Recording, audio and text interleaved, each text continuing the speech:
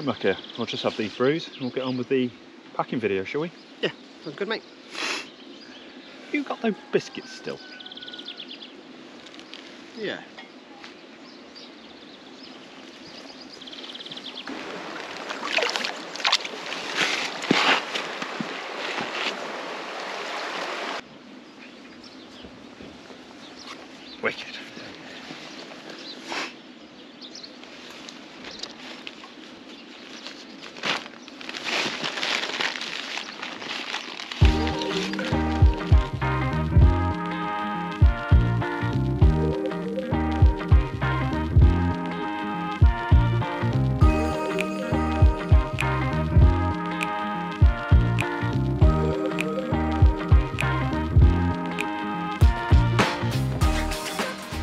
And welcome back to the channel. Now as you can see our time in the Lake District is up.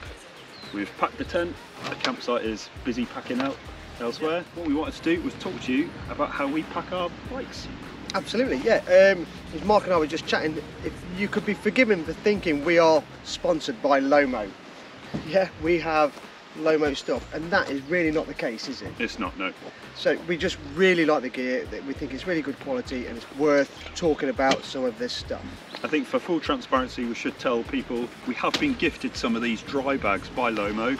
Uh, so thank you very much Lomo. Um, brilliant. Uh, they've been excellent with us, haven't they? Absolutely, Um, and we're going to talk about that in this video and how we've used them ultimately. Yeah, but predominantly we bought most of this kit because we like it, we've tested it, and uh, it's never let us down, has it? Absolutely, and the system that you can see on the bike, we've got another video on that, so if you haven't seen that and you want a, very affordable, waterproof, soft pannier system, go and check out that video, uh, and we, we stand by that still. Yeah, I'll put the link up in the corner below, above, and uh, it's worth saying that these big bags aren't featured in that No, they're um, not.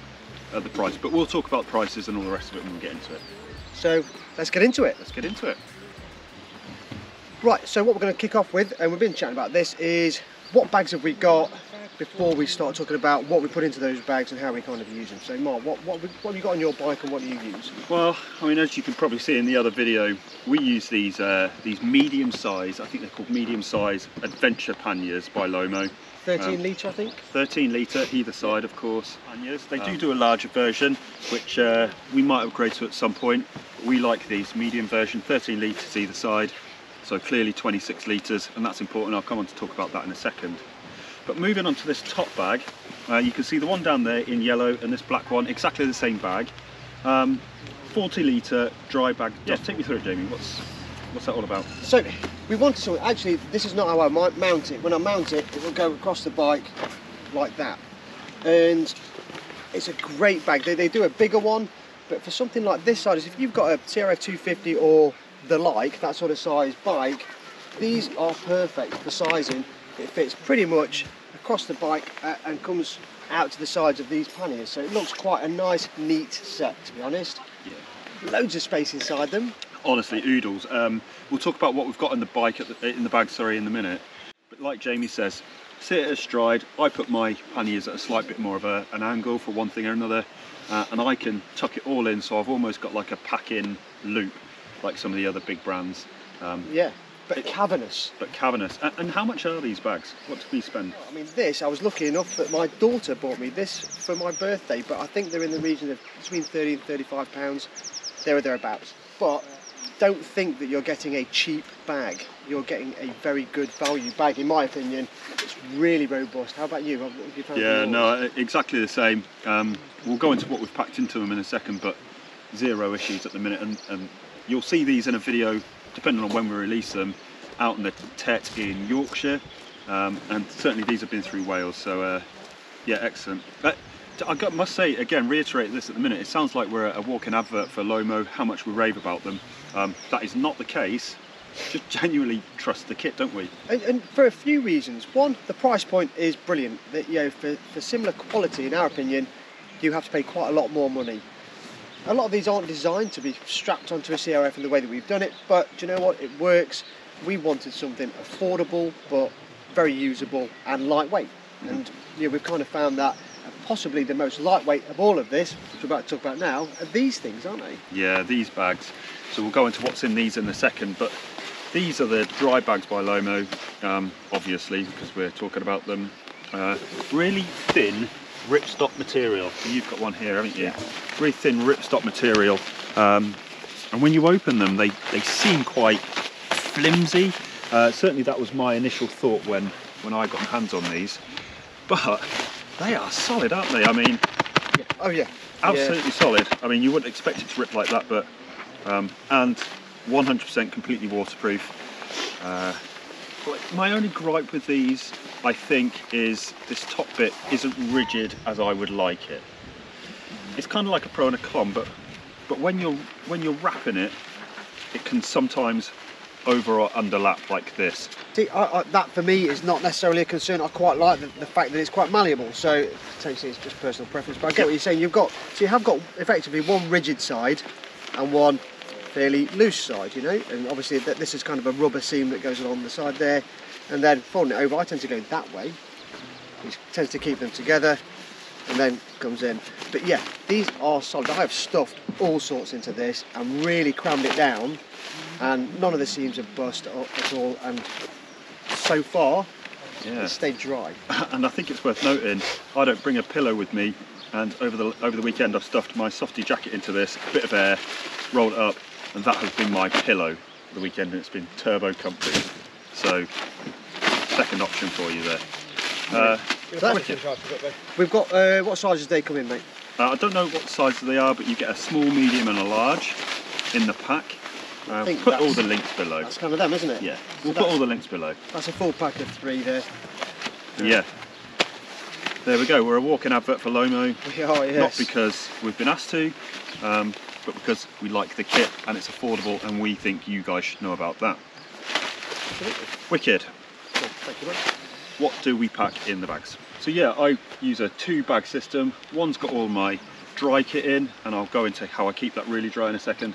And one's got my uh, easy access stuff like trainers when I get to a campsite, flip flops, a towel maybe, wash kit, etc. Stuff that I don't need to be able to just Those loose items that you want early doors and easy access to. Yeah, uh, waterproofs. So ridiculous. Yeah. It seems to put waterproofs in a dry bag, but You say that, happens. so that's exactly what I've done, but more con- the convenience so that I can just whip it out. But I, I do it in that just purely because I can grab the handle, which is what I really like about these, and go.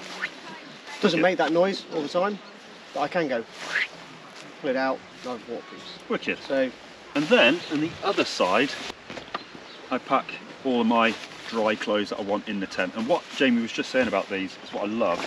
Is once the bike has swallowed them all, you get out, you you get your tent out, which is lived in, the big bag there, and then you just pull these out individually and you whip them in um, into your tent, one after the other, and it stays dry. If Yeah. it's absolutely raining, stays dry. yeah, and, and I use a very similar system. Where we differ is what we put inside them. Now, one little system that I will import on all of you is with your medium or small bags, make these your day bags. Um, so, what do I mean by that? Each day, I've got a set of base layer, underwear, socks in each of these. So, it doesn't matter what happens, I know I've got a dry base layer at all times. Yeah, and I used the exact same system last year in Wales. I've done slightly different this time just to test something out. But, uh, Yeah. yeah, I think that's a very good system. So for this weekend, obviously I had three of these. Um, base layer, leggings, underpants, two pairs of socks, ridiculously, uh, and a t-shirt. All goes in there, super easy. And like I say, they can just stay wrapped up and dry until you need them, you know, at the end of the weekend or mid-weekend or whatever you do. Yeah, absolutely, and I think that's a really good system, and I think I'll revert back to that. This weekend I went slightly different. I basically just decanted everything into two bags, or into one bag primarily, and I would have all my clean, dry stuff in that bag, and as I used it, it went into my no longer clean bag, uh, and that's all I've done throughout the week. So, main differences, a bit more of a faff, I suppose, uh, which I wasn't too worried about on this trip, but if you're going for any length of time and you just want ease, I think that system's great. Yeah. And you can even, I mean, you could write on them one, two, three, and four, or whatever. Oh, you absolutely so could, you yeah, can mark them up with what your days are and everything. So really good system. Obviously. So that's what goes in the panniers, guys. So base layers in here. I've got a fleece, a pair of trousers, some more socks and pants. Um, yeah, basic stuff. You know, what it's worth mentioning is we don't overpack anymore. So a lot of what we're stood in is a lot of what we have. I do have a pair of trousers and a separate fleece in here, but that is the additional kit to what you see me in here. Yeah. That is it. Just if you're going to go to the pub in the evening, you don't want to wear this. So yeah, some thin walking trousers, or we both pack. That's And it. use the fleece that we've got that we use in our layer, layering system, which we talked about in a different video. That's right. Uh, yeah, and then a pair of trainers, and you're good to go. Absolutely. Wicked. So that's the panniers spoken about. Let's talk about these top bags. Now these top bags are, are you know, we pack slightly differently again, but there's some commonality. So what, what have you got in your top bag? So in mine here, uh, I've got my tent sits in there, my roll mat, sleeping bag. I've also got a slightly bigger pump that we keep for around the camp and a spare inner tube. And then this, uh, this is where I put my loose stuff. So this is where I differ slightly. I've got my flip flops and Right. trainers all sit in there. This is, I kind of use this as my catch-all. So once I've done my, my panniers, if there is some extra bits that I've not uh, packed into those areas, they'll additionally go into, into this bag as well. But it's essentially it's the first thing that comes off my bike when I want to get set up at camp. This is the one that comes off. They can stay where they are. This sets up my home. Yeah. One real big consideration if you're going to follow this system um, is everything that needs to be in here needs to be separately waterproofed unless you don't mind it getting slightly damp and I'll explain that in a second. The bags are uh, super dry, um, you know, they're not going to get wet whilst they're closed, but as soon as you open it to get your tent, if you're setting up in the rain, the bag's going to be open and obviously you can induce water. So my sleeping bag, my roll mat and everything else I keep in there that I want to keep dry is individually dry bagged as well. Um, but ultimately, once your tent's up, you can chuck everything in your tent, everything stays dry. So it's just worth thinking about what can stay dry until it's in the tent and then be dry again, if that makes sense. Yeah, and obviously, yeah, some people ride with the tent on the outside, have it completely separate, so they don't open any bags, and that's a system you can use, obviously. Uh, but we both like the neatness of just putting everything into the bags, and you've got effectively three lumps on your bike, strap them down, and it feels pretty solid. It does, yeah. Yeah, exactly the same system. So, I mean, um, obviously, we've raved about these, we love them. What don't we like then? Let's make this a fair review. Uh, yeah. So you know when we were looking at these, we both had similar desires on these bags. I wanted something. Uh, I wanted something that had a fairly rigid base to it because I didn't like the idea of putting it across the back. So I don't obviously we don't use racks and stuff. I didn't want it pressing down and kind of overlapping on the back. So I would have liked there to be some sort of more rigid system on the bottom. Maybe uh, I don't know using what material, but just something to keep that sort of flat form for me, so it kind of gives me a level out. So I would have liked that. I did look for that in the bags. If you want anything like that, you're paying at least three times the price of this, and I just couldn't justify it for something like that. You know, I can always try and fashion something like that myself by gluing something to the inside. I'm guessing some sort of rigid board or something. And, and you know, for me, um, really minor, but I'm going to have to do a modification to the bag because I don't like this strap. Um, I'm going to cut it off. Obviously, they're not designed for motorcycles. They're designed as a dry holdall for travel, even for water sports, putting it in your kayak, whatever it is. Um, but that to me is just an additional pointless strap for use on the motorcycle at least. So I'm going to cut mine off. Uh, and that's simply because once it's strapped to the bike, even though I put a net over it, I can see them flapping, and that bugs me. I hate It annoys you more hate than it little extra me. strap bits. But I mean, when we're talking about gripes, they're pretty minor, aren't they? I, I was racking my brains to try and be as fair to this review as I can, but I can't. I genuinely can't think of much wrong with any of the kits. No. And you know, if we were to cost everything up, and I haven't exactly, but we know from the panniers that's just under hundred pounds. The bag at 35, let's call it, and a packet of these, um, three bags. I suggest you probably need six, so two packs of these at I don't know what they're coming at. Total cost maybe 10 to 25 quid, 15 20 quid. Yeah. So let's say 25 um, plus your 35 plus your 100 quid. How cheap Not is that? much, yeah, like 160 quid all in. 160 for a complete waterproof set. That's why I love it. complete waterproof set, which is a combination of all of your outside bags and the stuff that goes into them, because you can pay more than that just for those you know, the big U-shaped bags and all Mm. that sort of stuff.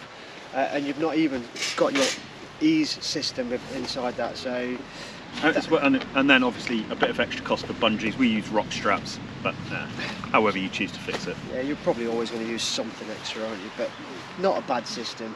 Definitely for well under £200, we've got a full, fully waterproof, easy system that's easily organisable. Uh, And, and, and you can use for other things. used for other things, yeah. We love it, obviously. Okay, so that's it. That's as much as we've got to say about Lomo. Thank you very much for tuning in again. Um, if you have got any questions on any of this stuff, feel free to put it into to the comments below. Like, comment, subscribe. As always, we really appreciate all the support. Uh, and until next time, stay safe on the trails Take it easy. and take it easy. Yeah. Cheers, guys. See you later.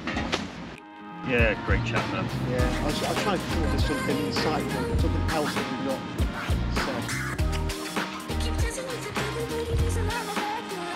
You have a? Yeah, oh, we did, yeah. Anything like this would be trashed in a day. Oh, it's just because we're better riders.